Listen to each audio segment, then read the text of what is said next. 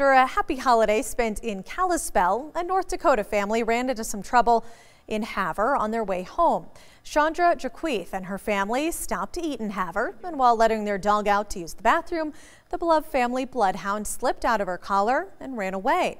After spending the night and searching for Lou, they were unsuccessful in finding her and catching her. The family had to return home due to Chandra having to work later the day that day.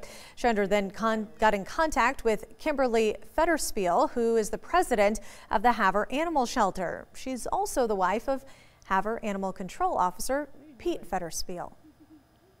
There were so many people that were looking out for her and just, you know, giving me updates if they had seen her, you know, because I, I was, you know, five hours away and there was nothing I could do but everybody just you know kept an eye on her and made sure that we you know putting food out for her so she wasn't hungry. I mean, everybody helped so much. And I just appreciate everybody. After being gone a week and a half with the help from Kimberly Pete and Havre resident Andrea Stedham, plus the entire community of Havre, Lou was finally caught last Friday and reunited with her family over the weekend.